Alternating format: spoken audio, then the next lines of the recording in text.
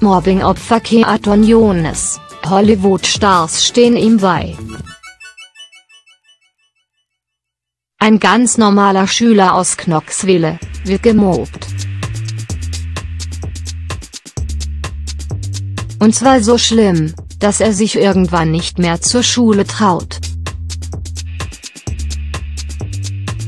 Seine Angst teilt er seiner Mutter mit, die seine emotionalen Worte auf Facebook veröffentlicht, sie machen sich über meine Nase lustig.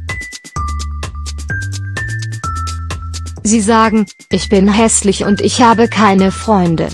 Nun machen ihm viele Promis via Sozialmedia Mut, kleiner Mann, du hast in mir einen Freund fürs Leben, schrieb zum Beispiel Snoop Dogg, 46, auf Twitter.